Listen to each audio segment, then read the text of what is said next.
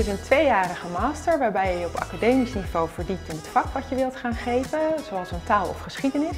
En daarnaast leer je didactische en pedagogische vaardigheden binnen de lerarenopleiding. Er is natuurlijk een heel groot tekort aan leraren en vooral aan eh, goede docenten die ook innoverend eh, kunnen zijn binnen het onderwijs. En ik ben heel erg blij dat wij hier binnen onze opleiding zoveel aandacht voor hebben, zodat onze studenten, wanneer ze op die scholen terechtkomen, dat ze daar ook echt innoverend bezig kunnen zijn.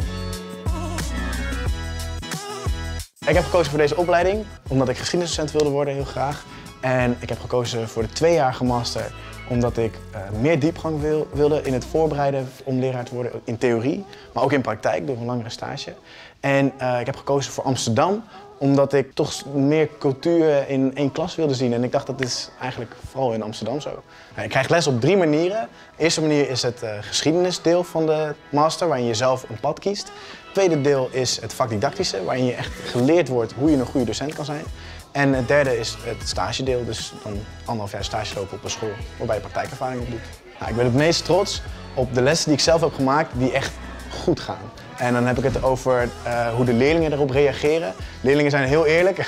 Als een les niet goed in elkaar zit, dan merk je dat gelijk uh, aan hun reacties. Maar als een les echt goed in elkaar is, ja, dat is uh, heel fijn.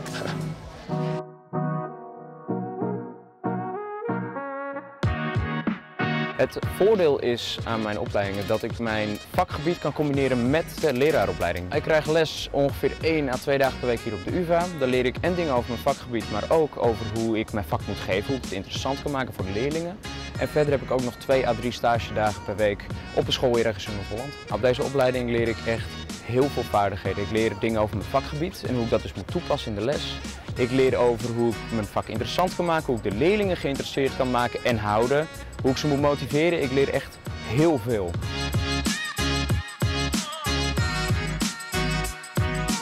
Ik werk in het voortgezet onderwijs. Daar geef ik niet alleen les, geschiedenis, maar ik ontwikkel ook uh, curriculum, omdat we met modules werken.